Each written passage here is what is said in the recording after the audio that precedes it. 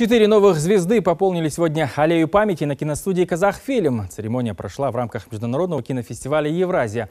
Увековечены имена режиссера и актера Шарипа Бисимбаева, которому в этом году исполнилось бы 90 лет, актера Саги Ашимова, который сыграл Чуканова Лиханова, режиссера Канымбека Касымбекова, посвятившего себя детскому и юношескому кинематографу, и Ураза Рымжанова.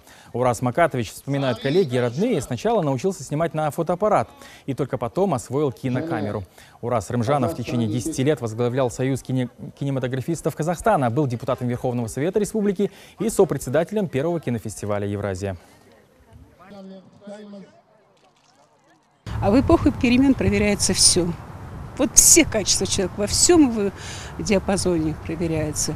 И хорошо, что, в общем-то, вот э, у него хватило мужества, он не отчаивался, конечно, иногда и руки опускались, но тем не менее, в общем-то, ему э, удалось не только выжить среди всех творческих союзов, но и отстоять кинематограф и вывести его на мировой уровень.